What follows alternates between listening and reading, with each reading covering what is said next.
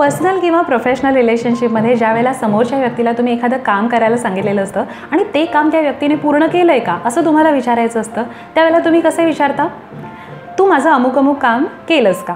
असंच right for example काल मी तुला फाईल रेडी करायला सांगितली होती. ती तू केलीस का? तुला टोमॅटो आणायला सांगितले होते. ते तू आणलेस का? अशा पद्धतीने राईट जेव्हा तू हे काम केलंस का असं आपण त्या व्यक्तीला विचारतो ना तेव्हा सबकॉन्शियसली त्या व्यक्तीच्या मनामध्ये एक रेझिस्टन्स निर्माण होतो. That person feels being cornered.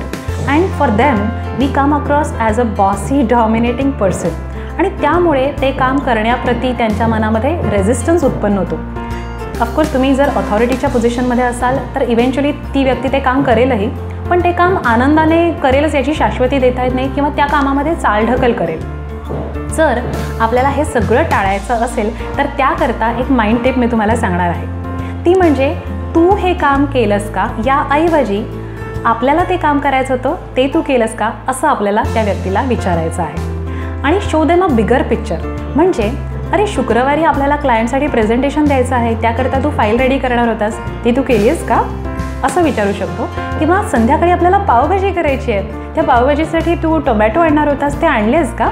असं आपण त्या व्यक्तीला विचारू शकतो. म्हणजे त्या व्यक्तीला मनात असं वाटायला लागतं की आपण दोघं एका टास्कमध्ये एकत्र काम करतो आहोत.